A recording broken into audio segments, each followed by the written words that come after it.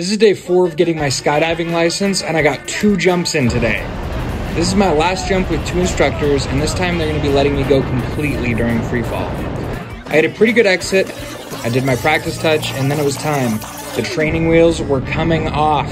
To be completely honest, I wasn't sure if they were still holding on or not, and I didn't want to look in case I lost body control, but I think I did pretty well. Then they grabbed me again so I could pull my chute. I piloted down, landed, and passed my category C1. Now onto C2. This dive was pretty much the same thing, but just with one instructor. Exit was clean, I got control pretty quickly, and this time I had a lot more time to just feel how it felt to be in free fall. I was stable for the most part, but I started rotating a little bit. I might want to try a wind tunnel soon so I can really learn to control myself in the air. It wasn't too bad though, and I was able to pull my chute without any problems.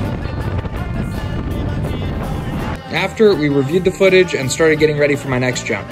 See you on day 5.